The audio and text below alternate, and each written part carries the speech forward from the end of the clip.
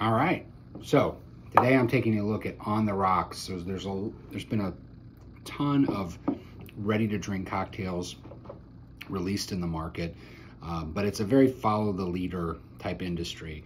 The purveyor that has done the best, sold the most, and had the most success in this space, far and away, is On the Rocks.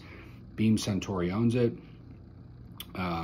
And I think the key here, and this is true of the old fashioned, but it's actually true of all the pre-made cocktails that they do, is the right balance once it's hit the ice and it's in there for 90 seconds all the way up to five, six minutes. Because um, at that level, it becomes uh, so easy to drink, so approachable, and I mean, really, you think about an old fashioned, it's a very simple cocktail to some degree, but it's a very complicated flavor profile because essentially what you've got are the cherry, the orange, the sugar, the bitters, and the whiskey all have to meet and complement each other in a very balanced way. And that's what this On the Rocks Old Fashioned does. So, uh, not a ton of old fashioned RTDs out there. There's some.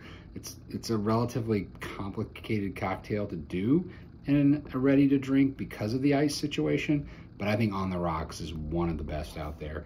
Um, just had a sip here and it's got the sweetness to it, but you still get a little kick of that whiskey, and that's what's great.